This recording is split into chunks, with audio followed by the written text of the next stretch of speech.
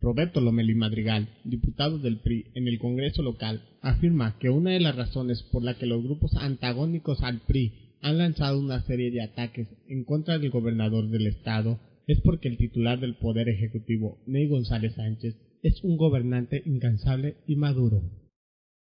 El gobernador Ney González es una persona incansable,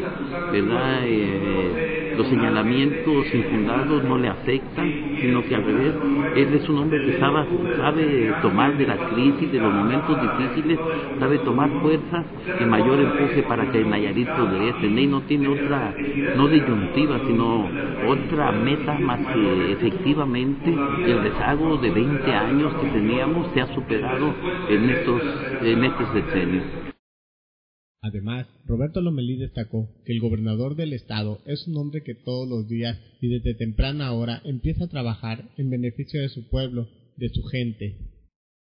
Eh, pues ahí están los, eventos, ¿verdad? Eh, apoyó a nuestro presidente en lo que viene a ser el, el, el Boulevard Jalisco, se comprometió y ya está ahí reiniciando de forma inmediata la obra en un compromiso de hace 15, 20 días, diario está en las comunidades, algo inusual en gobernadores de otras entidades, tiene una buena pareja como la señora Charo que entiende el quehacer de un gobernador y son hombres, una pareja, hombre y mujer que casi no lo ven como gobernadores, sino que lo ven como personas que se identifican mucho con ellas y son apreciados por campesinos, por pescadores, por los niños.